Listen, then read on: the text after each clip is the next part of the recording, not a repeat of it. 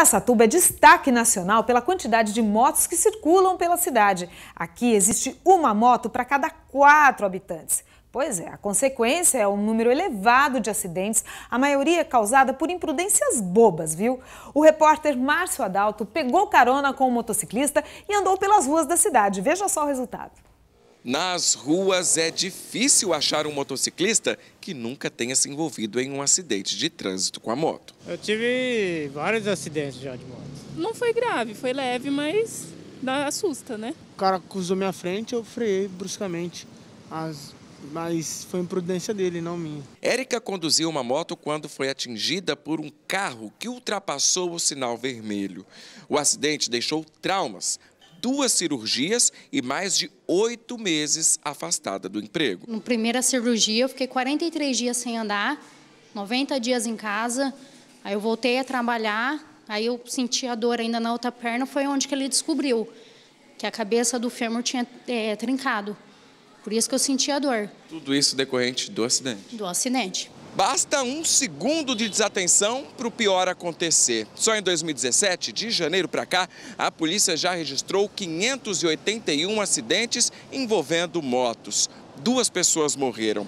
E não importa a gravidade do acidente, a vítima mais frágil sempre vai ser o motociclista. Geralmente, as consequências dos acidentes são ferimentos leves. O desafio é evitar que o número de mortos aumente. Todos os dias, nossos atendimentos têm uma, uma confluência aí de média de 3 a 5 acidentes de trânsito por dia envolvendo motociclistas. E a gente pode até falar que o que agrava isso é justamente a imprudência, o excesso de velocidade, alguns cuidados que as pessoas deixam de tomar.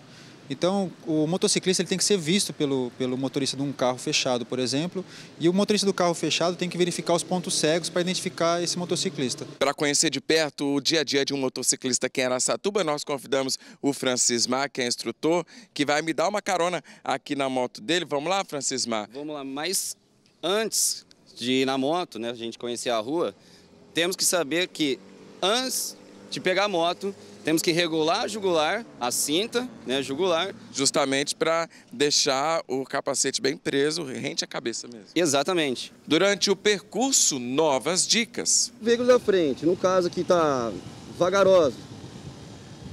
Você vai fazer a ultrapassagem, você olha atentamente no retrovisor do motorista para ter a certeza que ele te viu e vai fazer a ultrapassagem mais segura.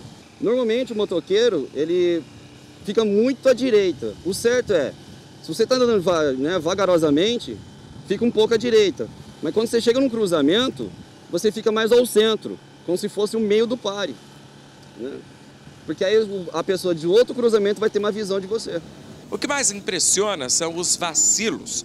Foram 10 minutos percorrendo as ruas de Araçatuba, tempo suficiente para flagrarmos um show de imprudências. Aqui, ó, não respeitou o pare, ó simplesmente entrou. Sinalizou tudo, mas simplesmente não respeitou.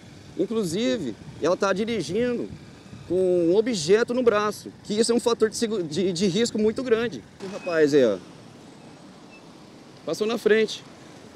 Então você tem que estar atento a tudo. Essa Kombi aqui é um ponto cego.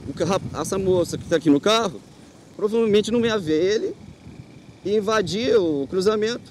Ia ter uma colisão. Bom, nós chegamos aqui.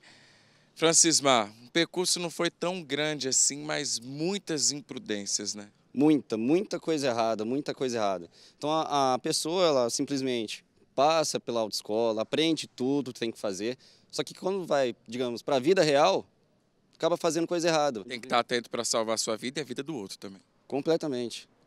Atento o tempo todo, olho aberto em tudo, em geral. Onde a gente aprende na direção defensiva, que a gente tem que ter conhecimento, atenção, habilidade. Tudo isso para poder dirigir.